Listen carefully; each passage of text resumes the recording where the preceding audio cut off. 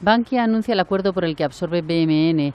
Entregará a sus accionistas 205,6 millones de acciones nuevas de Bankia, es decir, valora BMN en 825 millones de euros.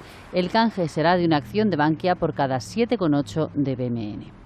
Los accionistas de esta entidad pasarán a tener el 6,7% de Bankia.